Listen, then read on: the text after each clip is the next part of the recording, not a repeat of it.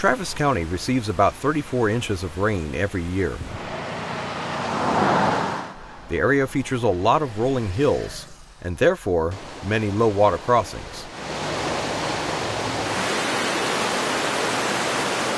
Flash floods sweep water over these crossings, posing a great safety risk to drivers.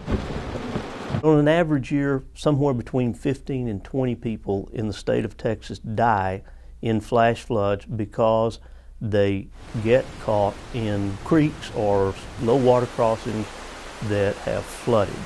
They either don't know they're flooded or they intentionally drive through thinking they can make it.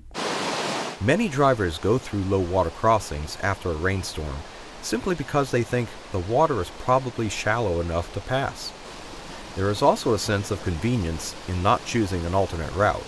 We all have a disease in us called get home itis, and we want to be there, and we don't want to wait, and we don't want to be inconvenienced.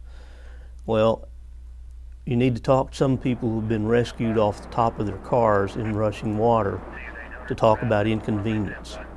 So play it safe always. If there's any doubt, turn around, don't drown. Still others think that by being in a higher riding vehicle, such as a pickup truck or an SUV, they will be safer in a flooded area. Two feet of rushing water can move even those high profile vehicles. What we always don't know when we approach a low water crossing that's flooded is number one is how deep is that? Oh, well, I cross this every day. I know exactly how deep it is. What you don't know if there's been any road damage. How long has that water been running? Has something washed out? Are there potholes in there that may uh, impede your progress? There are other factors as well that can increase the danger for drivers. The vast majority of all the flash flood deaths in Texas occur between 6 p.m. and 6 a.m meaning it is in low or very limited light conditions. So people's judgment is even further impaired by the fact is they can't fully see what they're getting into. Once a driver gets into a flood situation, it's not always easy to get out. A lot of times I think we think that rescue is a foregone conclusion, that if I get in trouble, I will be rescued.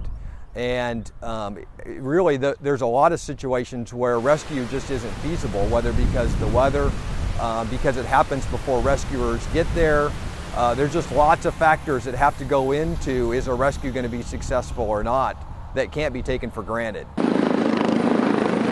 Just sending the helicopter out creates some additional risk with weather. Um, in fact, the helicopter at times may not even be able to go because the weather could be so severe. And then once you arrive over the rescue scene, the location of the vehicle and the location of the victims is dictated by the environment, not by where we would like them to be. A thing that we constantly see around low water crossings is power lines. Those things can interfere or impede a rescue, certainly something we have to be aware of. In light of these challenges during a rescue, the safest option is to avoid flooded areas altogether. You should always know your neighborhood and alternate routes to get to and from your residence or your place of business.